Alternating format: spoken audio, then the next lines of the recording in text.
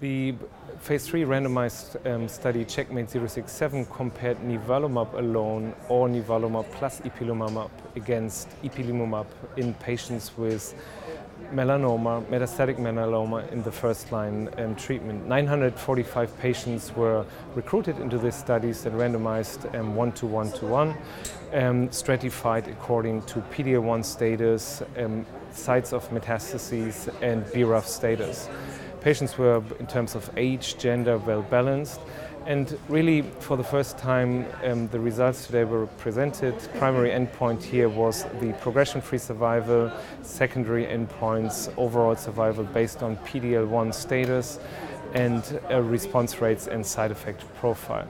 In terms of the primary endpoint, progression-free survival, we could see for the combination, the nivolumab plus ipilimumab, the progression-free survival was around 12 months.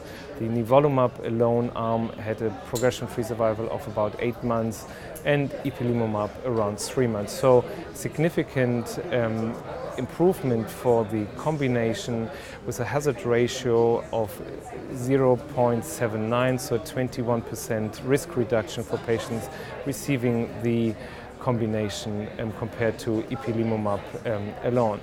So this was really interesting. Um, as you may know, and the um, community has reported um, lots of immunotherapy trials here at ASCO.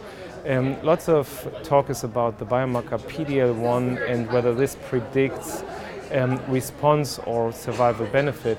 This study was actually looked into this upfront into PD-L1 status, but couldn't really, for the progression-free survival endpoint, show that there was a significant difference between PD-L1 expression and um, outcome, especially for the nivolumab, ipilimumab, or nivolumab arm. Um, in terms of response, PD-L1 was um, um, significant. Um, so patients who had PD-L1 positive tumors had respo um, response rates around 70% versus 50% um, who, for patients who were, were, negative.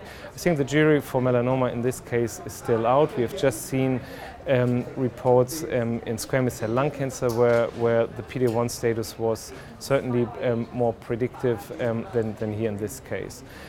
one key is to mention, although the progression-free survival was significantly of, of benefit, um, the toxicity profile for the combination was certainly higher.